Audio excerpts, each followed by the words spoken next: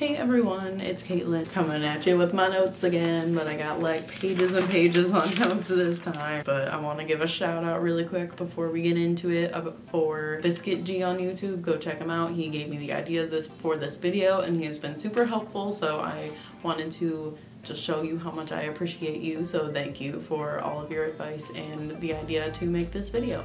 So with the spoilers for the new Commander precons coming out this year, I thought it would be a good idea to review the ones that I have played. I bought them last year and I have a few other mixed in ones that I've also played or bought so I'm going to do an overall review of about four commander decks. So I've played Edgar Markov, Kaalia the Vast, Meren, and the Ur Dragon deck also, so I will be going over all of those. I'll tell you three cards that I like, three cards that I would take out and rate it out of five, and if I would buy it again. So let's get right into it. I'm gonna start right off the bat with Meren. Let's just start off with a good one because she is my favorite. I'm, I'm gonna spoil that right now. She's my favorite out of all four of these decks, probably out of all the pre-builds. She is a deck that I actively play still to this day. She was easily upgraded to such a competitive deck, but like right out of the box, she was so competitive and she could she could hold up, she could win really strong. Um, that was the first graveyard deck that I ever played and it was really nice to start to learn how that works and to understand my love for Graveyard because I really do love that deck. I love the experience counter mechanic. Experience counters are just so good. In Meren, you only need to get her experience counters to like 5, 6 max. You don't really run any like 7 drops or 8 drops. Like she pretty much max out at 6 and then you're good. Like there's easy combos that you can get going to get her started. Like if you get Sakura Tribe Elder, just get it out on the second turn, you know, turn four, get Meren out, sack it, go get a land, get an experience counter at the end of the turn, bring it back to your hand, play it next turn, sack it again, get another experience counter, rinse, repeat, rinse, repeat. Like, it's so easy to get the engine started with, especially that card in this deck, but it's just very easy to get her going and to get her started. We are going to start off with the cards that I would take out, the three cards that I would take out of this deck. So Viridian Zealot is my first one. I would take this out because it is pretty much the same effect as Sakura Tribe Elder, except for it's worse. It doesn't have a built-in sack outlet, so I don't really need this card in here. I already have something that is exactly like it, but better. Like I already have the better version of this card in the deck, so why do I need that? Like I have so many other cards that I would rather play in this deck that it's easily replaceable with something better. My second one is Blood Baron, but this just feels like a very subpar sack outlet. They're a lot better and a lot cheaper overall than this card.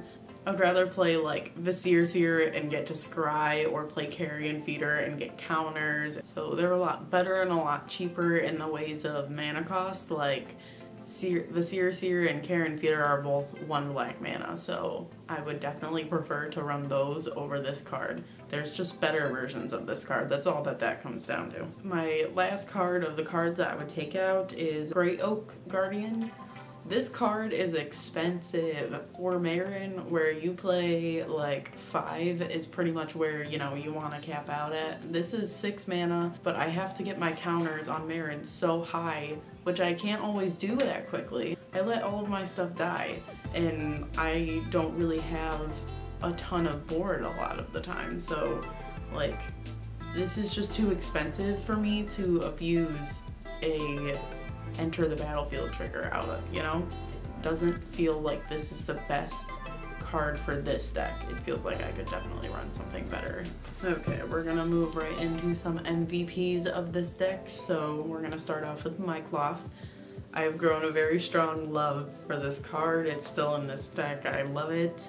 It is so much fun in the terms of playing. I love the mechanic Devour. Not only do you get counters, but you get a way to sack your creatures which gives you more experience counters. So usually when I do this, like Mycoloth has Devour too, usually when I do this, I set up to sack like three or four creatures so I can just get Meren to the level experience counters that I'm really looking to have right now and I can have I can get eight counters on Mycoloth. Like that is absurd.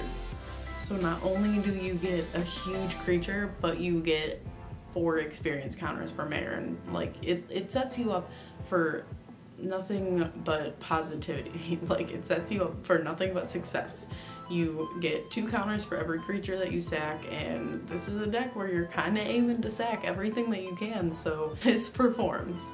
My next card is Bloodspore Thrinax. Again, this card has Devour, not like I'm only listing the cards with Devour, but I've played this deck a lot, so I'm listing off cards that I have played and had success with, and um, this is a really good buff card. This lets your creatures enter the battlefield with that many counters, so this is kind of at the point where, you know, you want to start building your board, you have all of, you know, this is the point where you want to start building your board, you have your engine going, you have your experience counters, you are starting to build a board presence, you have your way to sack things, you have your way to bring things out of the graveyard, like you have your engine going this is when that card comes out because it starts to build your board presence. It lets things come in with counters on it, it buffs them, it lets them be bigger so you can swing. Because most of the creatures in this deck, let's face it, they're smaller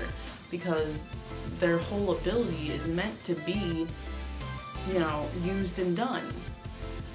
But that's why you run cards like this, so it buffs them. Uh, the next one, this one is my favorite uh, coming across this card was my happy moment. Okay, this is a game winner. Pathbreaker, Pathbreaker Ibex. When this is again in, uh, when I want to start building my board presence card. When I have my board flooded with creatures because I keep bringing stuff out of my graveyard and I keep casting stuff from my hand, I bring this card out and I just give my creatures all of the buff that I could give them and I just swing over everyone and win. Giving all of your creatures lethal like this is giving you lethal damage if you play it in the time it's meant to play it. If you play it when your board is filled, then you pretty much win the game because everything has trample. So my rating of Meren is I would give her a 4 out of 5 and I would for sure buy this again so the next deck I'm going to review is the Dragons deck, and this is the first Commander deck that I've ever played, so I'm pretty excited to do this review. I played this deck so many times, I learned this deck in and out. Okay, I loved this deck, and I ran over everyone with this deck. Um, a little backstory before I go over this. When I first started playing Commander, uh, me and Jordan, my fiance, we were playing with our friend Kevin and our friend Zach, and um, we hadn't played yet, but the Commander Precons last year were coming out, and we looked at them and we were like, okay, this is a cheap way to get into Commander, to get into the format. That's why I love the fact that they do these decks, is because it gives people outside of the format a way to dip in. You know, we hadn't really played before, I hadn't played at all, and I didn't know how to build my own commander deck. I didn't know what I wanted. I had never played the format before, so this was just getting us started. This was the first commander deck that I ever played, and I won with it a lot. It's five colors, which is like a lot, but I made this work, okay? We're gonna start with the cards that I would take out, which I would like to point out. I'm doing creatures on all of these for the cards that I would take out but they pretty much got all of the main dragons. They got all of the main the main dudes, but there are uh, just a few, you know, the three. There are a few that are like not very good that I feel like just dragged me down when I drew them in the game that I'd prefer to have taken out. So we're gonna start with Boneyard Scourge. This is a smaller power and toughness of the rest of the dragons and it's only like ability is to bring it back if it dies and it's just kind of like I would rather play any other card because all of the other dragons in here are so good with like their abilities, their attack abilities that I draw this card and I don't, I'm unhappy. I don't like top decking this card because this isn't what I want. I don't really care about bringing this back when it's the lowest power toughness of all of my creatures. So it's like, is it is it worth bringing back? You know, Territorial Hellkite is the next card that I chose, and the reason behind it being I don't like that the attack is random. You have to randomly pick someone, and if you can't attack that person, it can't be the person you attacked last turn. So if you can't attack that person, then you have to tap him and you just don't get to attack with him. And I just don't like that. Like I don't like I don't like that I don't get to do anything with him if I, you know, get the unlucky draw. So for this deck I only came across two cards that I wanted to take out because I'm overall pretty happy with the creature base that they gave me. Those are really the only two cards that I found that I didn't really like. So we're gonna move on to some MVPs and start with Tyrant's Familiar. This is a card that I play even in other decks and I really like it. Um, Lieutenant is pretty cool being able to get a little bonus factor on your creature if you control your commander, which all of my decks are decks where I want to control my commander. They're decks where I want to get them out as soon as I can because they benefit me greatly. They lift my deck up, you know, they help me out. And so most of the time I do have my commander, so this card does really help me out. And not only getting plus two plus two, but getting to deal seven damage to something before the attack goes off is really awesome. Utvara Hellkite, and boy, let me tell you some stories about this card because oh my god. This was the first card that I played that I was like, I think I realized how absurd it was to play this card in a dragon tribal deck is so much fun. The first time I played this, I already had a flooded board of dragons and I was just swinging and making all the 6-6 dragons. I, it's so much fun to play this deck. It gives you 6-6 dragons whenever a dragon you control attacks. That is so absurd. Just flood my board with dragons. Any red deck, I can guarantee you will always have this card in there for me because even if that's the only dragon that I play in that deck, it's still good because it's still giving you a token for each dragon that is attacking. Nothing but good with this card. This card is the real MVP. This card is the MVP of this entire video. Shout out to Utvara Hellkite. My third one is actually a combination of two cards that I really enjoy together. Palace Siege choosing Khans with uh, Scion of the Ur Dragon. The combination of these with the with Scion of the Ur Dragon, I can pay two to search up any dragon permanent card that I want and put it into my graveyard and that card becomes a, to a token copy of the card I just put in my graveyard. With Palace Siege, I get to take something out of my graveyard at the beginning of my upkeep. So every single turn I can just be searching up on my deck the things that, the cards that I want and on my board and get a token copy of them, get the card the next turn and play the card the next turn. So it's just giving me exactly what I want. It's like a tutor, which is really awesome. Overall, I give this a 3 out of 5 only because I am very happy with the creature base but the mana base was so bad that if I didn't upgrade it out of the box then I wouldn't have been able to play it and successfully win. The mana base was so bad it needed upgraded immediately so I don't think I would have done as well with that the first time if I didn't upgrade it immediately. And I would 100% buy this one again. It was worth the money, it was worth my time. My next one is Edgar Markov. I don't have a ton of experience playing this. I've played it a few times, but I have three players out of the six players in my playgroup that own this deck, so I have a lot of experience playing against it and playing with it, so I think I can give a good perspective of both sides. Starting off with the three I would take out before we get into that. So, um, the creature base on this deck is very strong. This is an overall very strong deck coming straight out of the box. There are a lot of cards that you could easily put in there to make it better, but none of the cards in there are bad. They all have a really good synergy and they work well together. So yes, you can make it better, but it's not bad. It's strong still. You're only making it stronger. So we're gonna start with Bloodsworn, Bloodsworn Steward. I feel like this card is just really weak. It only gives a plus two plus two buff and it gives your commander haste, which would matter if Markov didn't have haste. If that was the case, then sure, but he does. So this is just a really weak buff. Um, I feel like it's a waste of space in this deck compared to all the other things that you could put in here. This just kind of doesn't really do much for me. Crimson Honor Guard is the next one.